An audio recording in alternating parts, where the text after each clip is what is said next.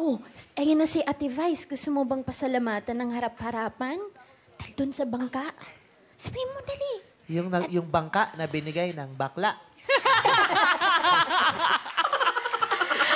Oh, dali. Sige na. Ate Vice, thank you po sa bigay mo kay tatay na bangka. I love you po. Ayun, oh, dakapin mo si Ate Vice. Ah. Baka masingahan ka. Tapos harapan na yung singa. Naka-plastic balloon ako rito. Tapos, ay, puputok. Tapos ginawa niya. Di ba yung plastic balloon? Pag puputok, ginag... Welcome to your all-time favorite search for outstanding amateur talents. Tawag